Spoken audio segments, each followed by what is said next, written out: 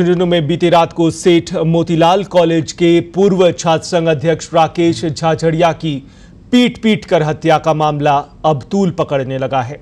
दरअसल शव बीडीके अस्पताल की मोर्चरी में रखा हुआ है और परिजन और छात्र संगठन एसएफआई के कार्यकर्ता मांग कर रहे हैं कि जब तक आरोपियों की गिरफ्तारी नहीं हो जाती, तब तक शव को नहीं उठाया जाएगा। बीडीके अस्पताल में परिजन और एसएफआई के कार्यकर्ता मौजूद हैं।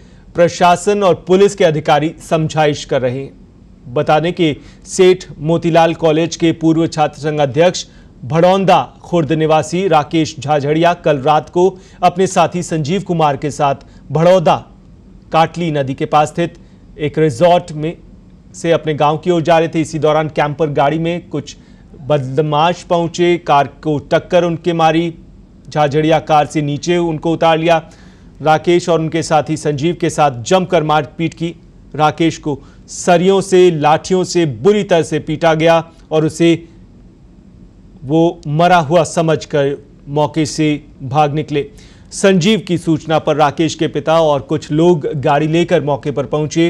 राकेश को झुंझुनू के बीडी के अस्पताल में पहुँचाया गया, जहाँ पर डॉक्टरों ने उसे मृत घोषित कर दिया।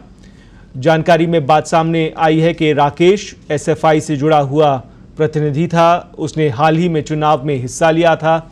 एसएफआई जिला अध्यक्ष पंकज गुर्जर ने बताया कि राकेश की हत्या चुनावी रंजिश में की गई है। छात्र संघ चुनावों के बाद लगातार उन्हें धमकियाँ दी जा रही थीं। छात्र संघ चुनावों के दौरान मारपीट की कोशिश भी की गई।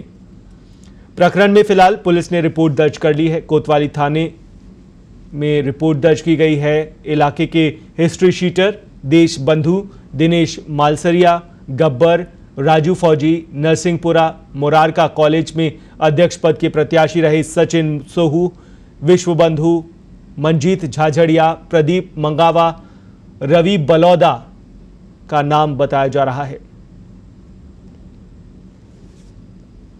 छात्र नेता राकेश झादड़िया पे दद्दी के अंदर हमला हुआ। जानबूझ के उसको ठोकर मारी जान से मार दिया और जब तक आरोपियों को नहीं पकड़ लेते हम झुंझुनू में दुकानें नहीं खोलने देंगे और ना डेड बॉडी उठाएँगे ना पासपोर्ट पोस्टमार्टम होने देंगे। किस बात को लेकर मारपीट की चुनावी रंजिश थी। चुनावी रंजिश थी इनकी। छात्र संघ चुनाव छात्र संघ चुनाव भी। कौन कौन थे? इसको धमकियाँ मिल रही थी। रवि बड़ौदा था देश बंधु विश्व बंधु मंजीत झादड़िया और एक ये राजू फौजी है नरसिंहपुरा का प्रदीप मंगावा दिनेश मालसरिया सचिन सोहू अभी प्रशासन से आपकी कोई बात हुई? प्रशासन से कोई बात नहीं प्रशासन ये है कि जब तक आरोपियों को गिरफ़्तार नहीं करोगे तब तक डेड बॉडी नहीं उठाएँगे। सब धरने पे बैठेंगे।